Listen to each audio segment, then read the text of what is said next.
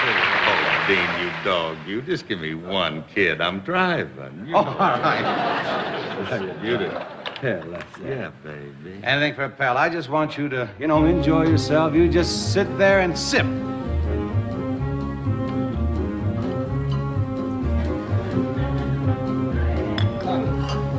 Say, Mr. Martin. Yeah? Mr. Martin. Yeah, baby. It was nice of you to have me here tonight. Now, I was as nervous as can be when I heard that you picked me out of all the folks that you thought to invite. Well, Mr. Harris. Yeah. Oh, Mr. Harris. Yeah, baby. Oh, when it's party time, that's what I always do. I get a couple guys like you and some milk and cookies too. On the level, Mr. Martin. On your tea tray, Mr. H. Oh, yeah. Oh, this is strong tea. Melted my spoon here.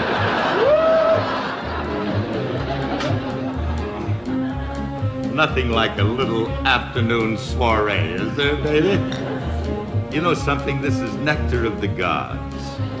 Now, don't tell me. Don't tell me. Let me go again here, baby. Go ahead. Don't hang your hat here. We may not be back this way. What is it? Orange Pekoe, 1959. Right. That was a very good year. Around this show, we go first class, pal of mine. Look. Now, Mr. Martin. Oh, Mr. Harris. Mr. Martin. Yes, Mr. Harris. Is it true that you do everything yourself? Writing all the stuff you say and rehearsals every day. You must be as busy as a little elf. Oh, Mr. Harris. Yeah, baby. Yeah, Mr. Harris. Oh, you're coming through. Every word you said is absolutely true. In the studio each day, getting ulcers, getting gray. Oh, that's just awful, Mr. Martin. Oh, that's just silly, Mr. A. You know something, baby? You gotta come by my place sometime, some afternoon for cocoa. I make the most beautiful cocoa. Go ahead. Would you come by sometime? Yeah, I'll come over and I'll, I'll bring the marshmallows and we'll have a tete-a-tete, I'll tell you. But Alice, Who? a tete-a-tete. I'll go for that. but Well- what happened? Alice says you're never home, Phil. Put that pinky in mine, too. just, just hit it one left. Oh, you That's a blacksmith job if I ever saw. well, look, when you invite me to come over to your show, I know right away that I'm going to be in for a lot of long hours of painstaking rehearsals. You know what I mean? So naturally, Alice has just got to understand that, huh? Oh, Right? Now, Mr. Martin. What is it, Harris? I said, Mr. Martin. Yes, Harris. Now she'll be wondering just what took so long to do. I won't bat an eye because when she asked me where I was, I can always say that I was here with you. Oh, Mr. Harris.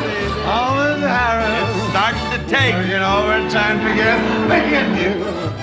Oh, when they tell us we must stay with those chorus girls all day.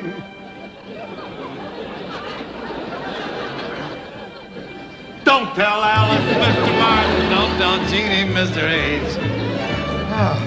You know something? If I didn't have my tea after afternoon, I am the most miserable uh, fella that you ever met.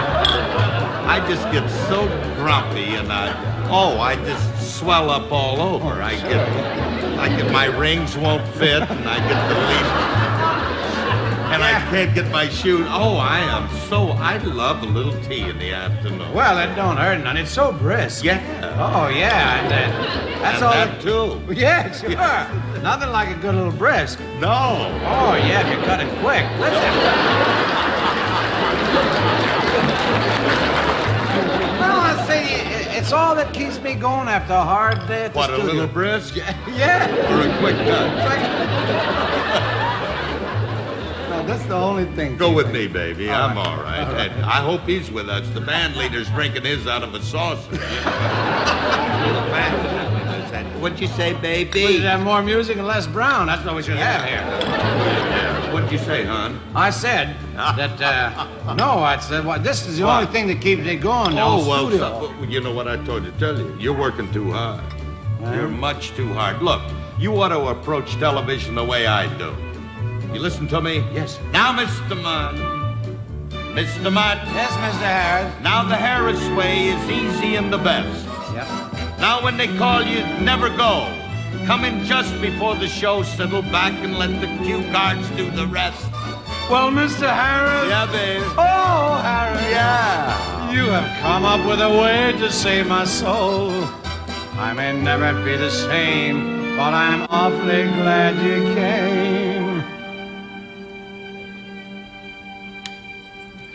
Thank you kindly, Mr. Martin. Well, it's a pleasure, Mr. Ray.